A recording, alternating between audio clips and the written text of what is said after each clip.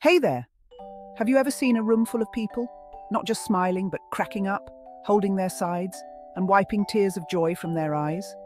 Welcome to the most delightful event you'll ever witness the improv comedy show just for seniors. The lights dim, the stage light comes on, and the The Village's improv club players step up. They're ready to bring the house down with laughter. Every skit, every joke, every spontaneous moment is crafted to perfection, and the audience's laughter is the proof. The unpredictability is what makes it so special. When you watch these seniors, both on stage and in the audience, you can see the magic happen.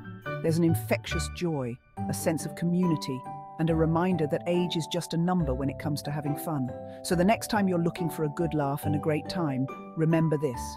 Improv comedy this November 19th at Rohan Recreation Centre. All remaining tickets $9. Thank you for joining me on this joyful journey. Until next time, take care and stay happy.